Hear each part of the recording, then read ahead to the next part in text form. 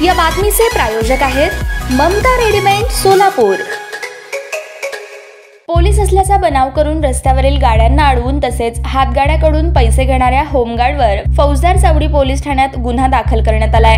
नरेंद्र किसन आयवळे राहणार सोलापूर असं आरोपी होमगार्डचं नाव आहे. श्रीकांत चंद्रकांत गायकवाड राहणार एनजी मिल चाळ मुरारजीपेठ सोलापूर यांनी फिर्याद दिली आहे. चौदा सप्टेंबर दोन हजार बावीस रोजी साडेपाच वाजण्याच्या सुमारास सेवा सदन हायस्कूलच्या समोर सरस्वती चौक जवळ फोन आल्यानं गाडी बाजूला घेऊन थांबले असताना आरोपी हा होमगार्डचा ड्रेस घालून पोलीस असल्याची भीती दाखवून फिर्यादी जवळ येऊन फिर्यादीस तुझ्या गाडीचे आरसी बुक आणि लायसन्स दाखव नाहीतर पाचशे रुपये काढ असं म्हणून. फिर्यादीकडून पाचशे रुपये घेतले त्यानंतर बाजूला उभ्या असलेल्या शेंगा फुटाने व आईस्क्रीम विक्री करणाऱ्या व्यक्तीजवळ जाऊन तुम्ही इथे गाडी लावायची नाही तुम्हाला जर इथे गाडी लावायची असेल तर मला पाचशे रुपये फाईन द्यावे लागेल.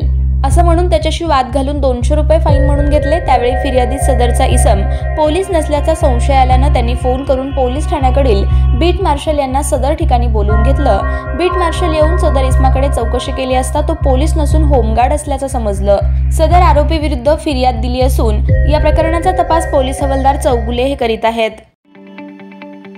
ताज्या बातम्या पाहण्यासाठी प्राईम महाराष्ट्र न्यूज चॅनलला सबस्क्राईब करा.